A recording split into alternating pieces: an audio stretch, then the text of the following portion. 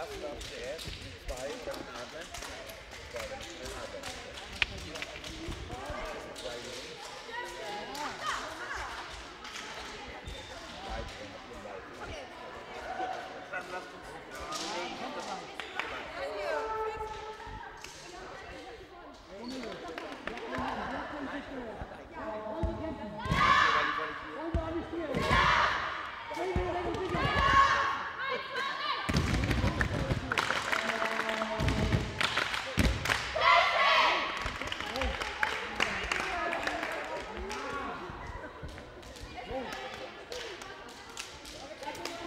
So, die Kriegsschreie sind verhallt und wir begi- beginnen mit der B-Jugend Grünwald Schwerin gegen TSG Wismar.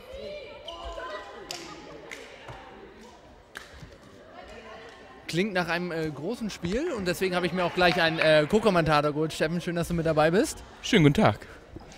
Ähm, ja, könnte man denken, Grünwald Schwerin äh, etwas unterlegen gegen die stark favorisierten Wismaraner. Äh, hier aber nicht so. B-Jugend führt Grünwald Schwerin die Tabelle an, nach dem Sieg gegen äh, Fortuna Neubrandenburg am letzten Wochenende. Und spielen hier beim, äh, gegen den Tabellenletzten äh, TSG Wismar. 12 zu 2 Punkte auf Schweriner Seite, 2 zu 12 für Wismar. Ja, das ist so, dass die TSG Wismar in den letzten Jahren im Jugendbereich nicht so konstant gearbeitet hat, wie es äh, die erste Damenmannschaft vielleicht vermuten lässt, auch die zweite Damenmannschaft. Der letzte gute Jahrgang war 89, 90, wo dann eben halt einige Spielerinnen herausgekommen sind, die auch mittlerweile in der Bundesliga spielen. Ähm, sie sind wieder auf einem guten Weg. Ich finde es auch gut, dass sie nicht so wie letztes Jahr eben halt gesagt haben, dass sie in der äh, Kreisliga spielen wollen oder Spielunion, sondern jetzt eben halt auch hier den Gang in die äh, Oberliga gegangen sind, um einfach die, auch die Liga ein bisschen attraktiver mitzugestalten, mit mehr Mannschaften.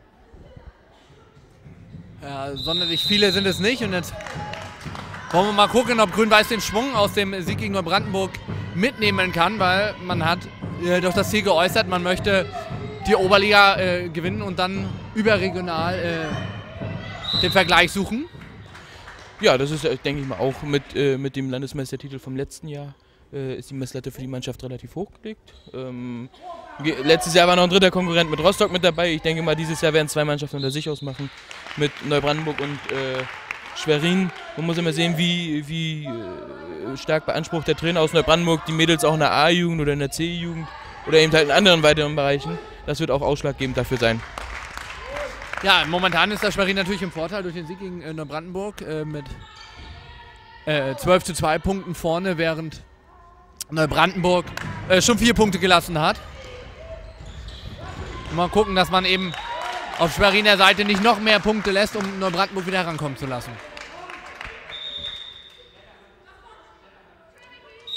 Nun hat man äh, bei Grün-Weiß aber auch das äh, Pech gehabt, wenn ich jetzt mal sagen darf, in der, der B-Jugend äh, zum Anfang viele Auswärtsspiele zu haben, nur Auswärtsspiele zu haben.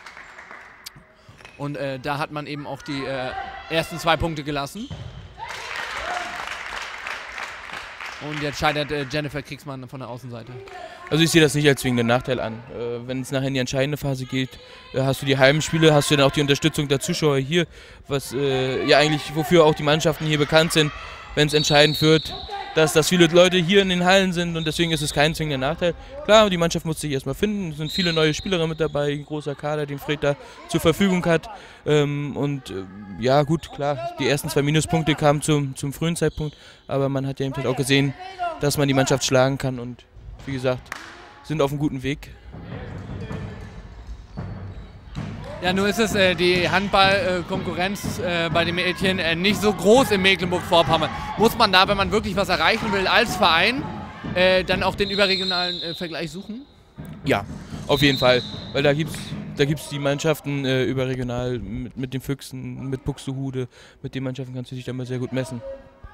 Ja, äh, Monique Defke bekommt da die gelbe Karte und es gibt den ersten sieben Meter für Grünwald-Schwerin. Äh, Maike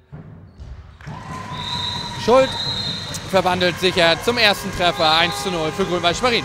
Auch hier sieht man, dass Fred zu Beginn des Spiels viel auf äh, die Jugend sitzt. Ähm, es sind, wenn man die Mannschaft durchgeht, dann ist eine, eine Spielerin nur des älteren, nee, zwei Spielerinnen des älteren B-Jugendjahrgangs mit dabei, mit Jennifer Kriegsmann und Sina Güdekoit. Aber äh, dem stehen eben halt auch zwei äh, C-Jugendliche mit Maike Schuld und Marie Navot äh, auf, auf der Platte. Also man sieht eben, dass Fred auch den jungen Spielern aus der C-Jugend schon Chancen gibt und sie langsam mit heranführt. Und es deutet eben halt auch auf die gute Nachwuchsarbeit hier hin. Ja, der Treffer jetzt äh, für Wismar durch äh, Laura Blum. Ja, da kann man natürlich äh, auch darauf hinweisen, im Spiel gegen Brandenburg haben wir das gesehen, wo er dann äh, mit Wiebke Dittchen aus der C-Jugend als Torhüterin auch schon gespielt hat. Ja, das äh, macht er konsequent, setzt, es, setzt die Leute immer wieder ein. Schön ausgespielt, Jennifer Kriegsmann mit dem Treffer. Da eben halt das krasse Gegenspiel mit Jennifer Kriegsmann, die mittlerweile ja schon äh, mehrere Spiele im äh, Frauenbereich absolviert hat und aus der Spielliga bei der ersten Damenmannschaft. Also man sieht, dass hier eben halt übergreifend gearbeitet wird und äh, man sieht das ja auch bei mir zum Beispiel in der zweiten Frauenmannschaft habe ich auch aus Fred seiner Mannschaft Lisa Marimenzo schon mit in den Kader eingesetzt oder auch in den Spielen und auch da hat sie eben halt gute Eindrücke hinterlassen.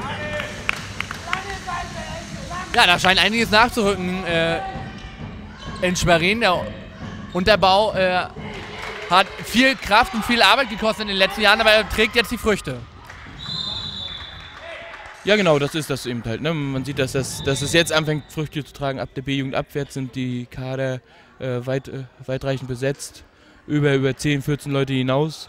Ähm, und da werden wir eben halt auch viel davon profitieren. Später dann auch wieder für den ersten Frauenbereich, wo dann die Stärke, die wir früher auch hatten, eben halt äh, aus den eigenen Kräften zu zehren für den Damenbereich, da werden wir auch wieder hinkommen.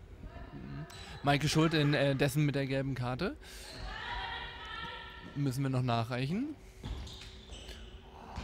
Also richtig ist die Überlegenheit von Grün-Weiß noch nicht zu sehen, aber jetzt natürlich der Konter Jennifer Kriegsmann.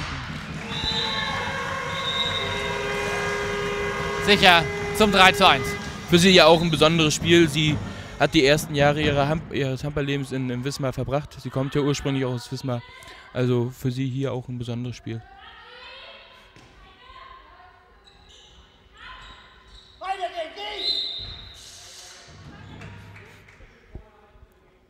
Und ich denke auch, dass man nicht die Dominanz in den ersten fünf bis zehn Minuten deutlich sieht, sondern äh, dass sich sowas ja mit dem Spiel auch herentwickelt. Das Tor, was äh, Wismar ja auch geworfen hat, war ja nun keine zwingende Torchance, die herausgearbeitet war. Das war ja auch mehr ein Zufallsprodukt. Und wenn man hier auch sieht, jetzt äh, die, die Unstimmigkeiten äh, zwischen den Spielern kommt auch daher zustande, weil man natürlich nicht so häufig miteinander trainiert, äh, beziehungsweise fast gar nicht. Dann eben, äh, wenn dann zwei Mannschaften aufeinandertreffen oder äh, zusammenarbeiten, ist es auch mal schwierig. Das zeigt dann eben halt von Anfangsnervosität, aber das wird sich legen. Und äh, Sina, Sina Güdokait ist doch schon gut im Spiel, hat gegen Neubrandenburg ein bisschen länger gebraucht und da hieß es, gab es so einige Stimmen, Mensch, äh, warum versuchst du es nicht mit einer anderen Teuterin? Und die Schweriner haben auf sie vertraut und sie waren eine, eine wichtige Stütze im äh, Spiel gegen Neubrandenburg, die dann auch den Sieg festgehalten hat. Auch da dürfen wir uns oder können wir uns auch nicht beklagen, was danach kommt mit Sina, mit, mit Wiebke. Auch Anna Haben äh, sind da Leute mit bei. Die lassen hoffen, auch in der C2 bei Birger sind ja auch zwei gute Leu Leute im Tor. Also da können wir uns nicht beklagen. Und äh, wenn man sagt, man muss es hier mal, man muss auch mal Vertrauen zu dem eigenen Torhüter haben. Jennifer Kriegsmann jetzt mit der gelben Karte. Und äh, es gibt ja Leute, die messen eine Qualität einer Abwehr auch an äh, gelben Karten und zwei Minuten. Wie siehst du das? Naja, wenn ich ein Spiel verloren habe äh, und auf die Zeitstrafen gucke und da sind nicht viele oder eine gelbe Karte nicht da, dann weiß ich, dass wir keine Abwehr gespielt haben. Kommt immer darauf an, in welchen Situationen fängt man sich die Zeitstrafen. Man soll die Leute nicht dazu auffordern, weil letzten Endes wollen wir einen Ball gewinnen haben und nicht Körper gewinnen. Und, ähm, aber sicherlich kann man eine gute Abwehr eben halt schon daran messen, wie viel Zeitstrafen es gab.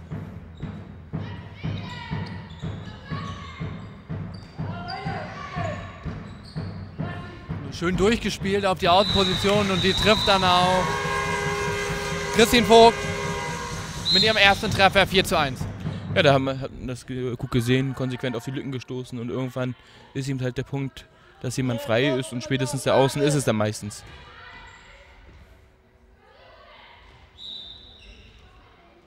Rechter Ball, gibt es den Freiwurf? Ja, aber wenn es dann äh, eigentlich so einfach ist, warum funktioniert das dann auch in höheren Bereichen äh, zu großen Teilen nicht? Naja, das liegt einmal mit einem Angriff. Wenn er nicht konsequent auf die Lücke raufstößt, äh, äh, dann ist es eben halt so, dass man der Abwehr das Leben leicht macht. Aber viele Abwehrreihen wissen ja auch, was man dann spielt äh, und stellen sich auch dementsprechend darauf ein. Oder wenn, man, wenn sie eben halt gut die Arbeit, äh, die Abwehr verrückt, ähm, wenn man auf einem ähnlichen Niveau arbeitet, dann ist es halt relativ schwer.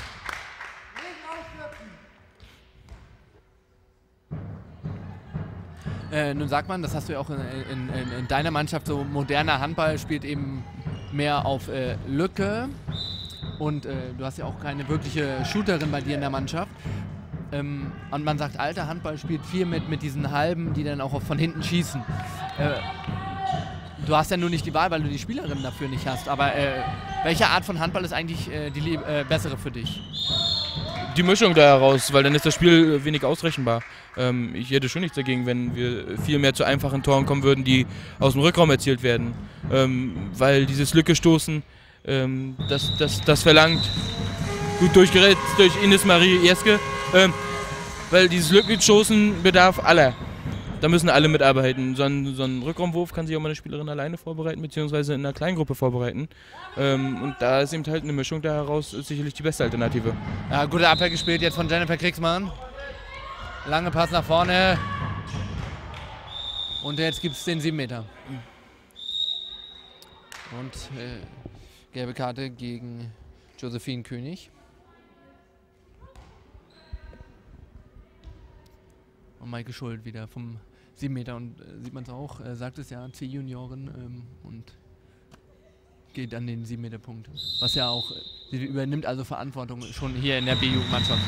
Na, Maike kennt den Großteil der Mannschaft. Sie haben äh, vor zwei Jahren in der C-Jugend schon zusammengespielt. Letztes Jahr hat sie ja auch schon in der, in der B-Jugend mit ausgeholfen.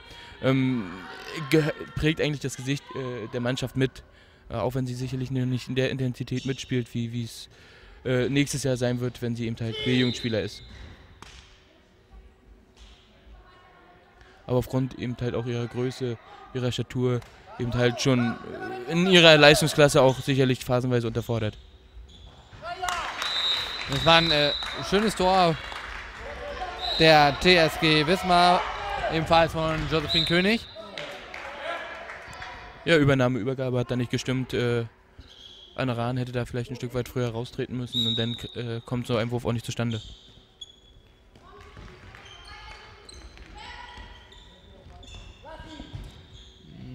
Der vom, von Spielanlage gut, aber schlechter Pass außen raus.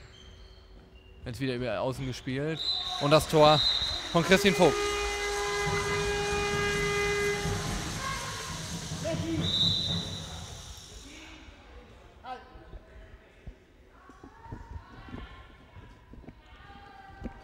Interessieren, äh, gerade in, in, in, Deutschland oder auf dem europäischen Kontinent ist Handball ja sehr linkshändig, äh, rechtshändig geprägt. Wie viele Vorteile hat man beim Handballspiel als Linkshänder? Du hast auf jeden Fall einen Vorteil. Die meisten Linkshänder spielen eigentlich immer im, äh, im, im Erwachsenenbereich ein, zwei Ligen höher, als vielleicht das äh, Niveau es zulassen würde. Ähm, klar, sie sind so rar gesät, das sieht man ja auch, wie, wie wichtig auch Marie Künscher im ersten Frauenbereich ist, äh, wie viele Vorteile wir, wir einfach dadurch haben, weil wir damit Linkshänder arbeiten können. Wenn du natürlich noch